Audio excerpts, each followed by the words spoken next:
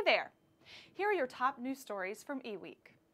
Today's topics include LinkedIn open sourcing two incident escalation tools, Microsoft putting Windows PC deployments on autopilot, the Windows 10 Fall Creators Update including built-in ransomware protection, and Google touting the value of its cloud services for analyzing connected car data.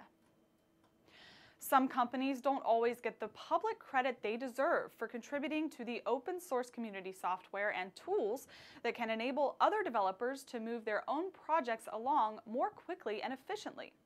One such company is LinkedIn. However, the Mountain View, California-based social network is now stepping up, announcing on June 29th that it has open-sourced two incident escalation tools called Iris and OnCall. LinkedIn said it has seen huge internal adoption of these tools, even from non-technical teams such as sales. Both are designed for easy adoption by other organizations and are useful for companies ranging in size from small startups to large enterprises. Microsoft wants to make the often laborious task of fully configuring and deploying Windows PCs a thing of the past for businesses. To that end, the Redmond, Washington software giant is rolling out a new set of features called Windows Autopilot, currently present in Windows 10 Creators Update, that automates many of the tasks required to set up a Windows PC for employee use.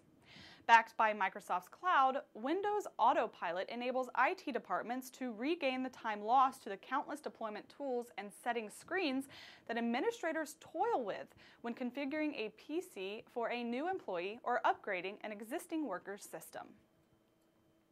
In light of recent ransomware outbreaks, concerned IT executives may welcome Microsoft's decision to provide an early look at some of the advanced security features included in the upcoming Windows 10 Fall Creators Update. Build 16232 of Windows 10 is currently available to members of the Windows Insider Early Access program who are enrolled in the FAST ring. Among the many new features is a new setting in the built-in Windows Defender anti-malware feature that protects a user's data files from ransomware. In May, the WannaCry ransomware attack spread like wildfire, shutting down hospitals in the UK and encrypting files at Spanish telecommunications company Telefonica. Last week, European businesses and government agencies fell victim to a widespread attack by the Petya strain of ransomware. Google claims its cloud computing technologies provide an ideal platform for collecting and analyzing data from connected cars for all kinds of new use cases. In a just released solution guide, the company described how its cloud services can be harnessed to power new automotive applications such as usage-based insurance, predictive maintenance, and new in-vehicle experiences using data collected from connected vehicles.